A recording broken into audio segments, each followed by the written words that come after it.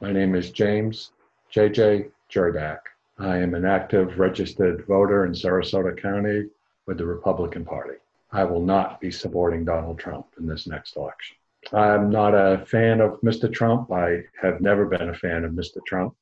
As a businessman, I don't respect the way he has handled his businesses over the many years that it's been publicized, uh, nor do I find him a competent uh, nor an intelligent politician. To be a Republican means to me to be fiscally conservative, liberal in granting states the rights that are not explicitly stated in the Constitution, and to be ready to help others who are less able to help themselves. President Trump, in my view, is antithesis to the views I've just expressed.